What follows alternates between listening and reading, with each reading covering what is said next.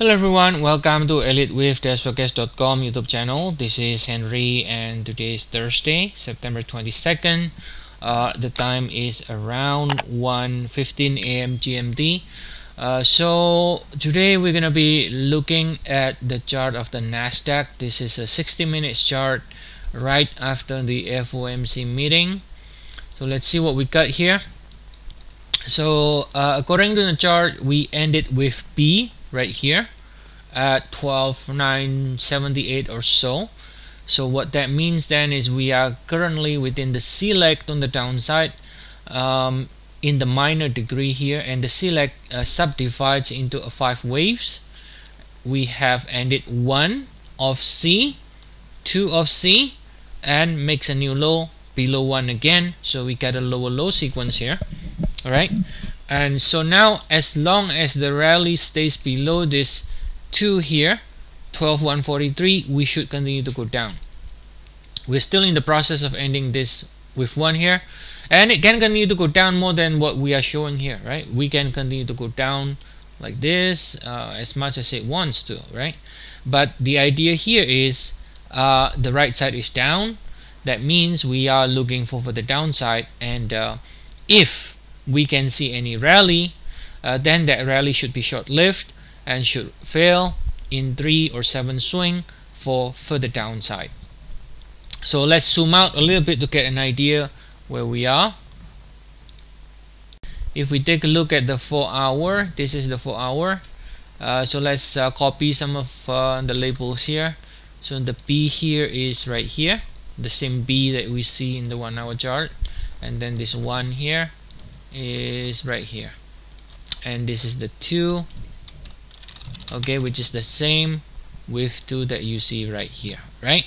So so if this is the B then obviously this is your A right? I mean you can just uh, backtrack right? Backtrack the label. And so that means we are talking about the sequence or the cycle that started from this peak here which is August 2022 right? August 17 2022 so according to this cycle here we have what looks like an ABC uh, we got you can see A B breaking below the A again. So it's a lower low right? And within the C you got 1 2 breaking below the 1 so this is telling you everything is in line for, for the downside. Let's see what the potential target on the downside is. Uh, if we just simply measure 1 2 here. 100% is 10,948 right? That will be minimum because with 3 could be extending to 1.618 even.